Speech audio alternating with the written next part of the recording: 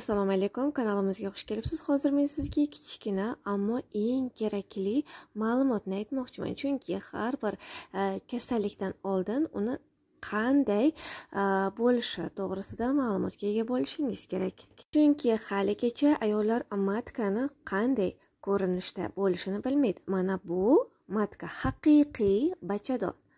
Haqiqiy bachadonni kattaligi hattoki sizni mushtingizday ham emas umuman bachadonni kattaligi. Endi yaxshilab e'tibor bering mana shu ikki yonidagi ingichka narsa mana shu ingichka bu turbalar. Mana shu mana shu narsa turba hisoblanadi. Ko'rdingizmi turba qanday ingichka bo'ladi? Uni ichi undan ham ingichka bu tuxumdon. Mana shu tuxumdon tuxumdonni kattaligini ham ko'rdingiz juda yam kichkina ikki barmoq kattaligida eni. Bu esa ichidagi mana shu bachadon og'zi bachadon bo'yni deymiz. Bachadon bo'yni o'sha yerda bu esa qin. Mm, qinni juda yam yaxshi bilamiz. Bachadon bo'yni mana shu bachadon bo'yni orqali erkak urug'i kirib tuxumdongacha yetib borishi kerak. Eroziya deymiz. Eroziya aynan mana shu bachadon e, bo'ynida paydo bo'ladi. Bachadon bo'yni eroziyasi. Mana shu eroziya bo'ladigan bo'lsa e, demak erkak urug'i kirib borishiga to'sqinlik qiladi. Shuning uchun ham agar sizda eroziya aniqlangan taqdirda albatta eroziyani kuydirishingiz tavsiya qilinadi. Eroziya kuydirilgandan keyin u hech qanaqangi e, urug' o'tishiga to'sqinlik qilmaydi. Endi turbalarga eng avvalo e'tibor beradigan bo'lsak nima uchun men turbalarni ko'rsatdim chunki e, haddan tashqari ko'p ayollarimiz men turbam berga operatsiya qildirdim ochtirdim menda homila bo'lmayapti deyishadi. Bilasizmi mana shu e, turbani ingichkaligini ko'ryapsiz. Hatto barmog'ingiz eng kichkina barmog'ingizni ingichkaligidanda kichkina. Bu yerda operatsiya o'tkazilgandan keyin darrov menda homila bo'lib ketadi deb xayolingizga keltirmang. Chunki u yer baribir chandiq bo'ladi. Chandiq bo'lgandan keyin e, u chandiq bitgancha ancha vaqt kerak bo'ladi. E, va shuni bilingki chandiq sababli Qurbani ichidagi eh, himoyalovchi patlari yo'qolgan bo'lishi ham mumkin. Shunday ekan turbalar berkimi eh, sizga albatta birinchi o'rinda eko qildirish agar ikkalasi ham berk bo'ladigan bo'lsa eko qildirish tavsiya qilinadi va ekoda eh, siz kesarcha kesish orqali tug'ganingizdan keyin birdaniga turbalar ochiladi.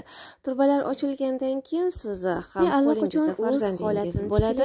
va siz ham oradan bir yilingizda farzandingiz bo'ladi. bemalol siz yana farzand ko'rishingizga yaroqli bo'ladi. bu turbalar hech qanaqangi o'g'il homila yoki qiz homila bo'lishga ahamiyatga ega emas. Men shunaqa savollar ko'p berilganligi uchun turbani mana shu ko'rsatib berdim. Endi endi tuxumdonga keladigan bo'lsak mana bachadonni ko'ryapmiz. Bu настоящий bachadon ya'ni savol beradigan bo'lsangiz bu haqiqiy bachadonmi deb. Ha bu haqiqiy bachadon. Bu esa tuxumdon va mana shu tuxumdonni ichki ko'rinishi.